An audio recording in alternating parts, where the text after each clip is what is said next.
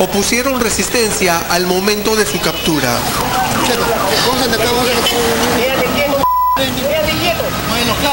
La Dirección de Inteligencia de la Policía capturó a estos tres sujetos que serían parte de la organización criminal Los Injertos de Boca Negra.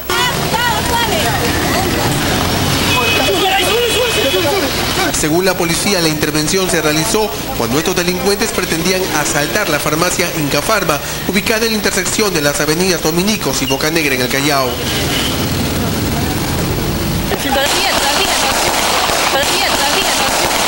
Los intervenidos fueron identificados como Braham Cobardo Villarreal Ormeño, Ahmed Ángel Yair Salas Lobatón y Emanuel Smith Gutiérrez Arteaga.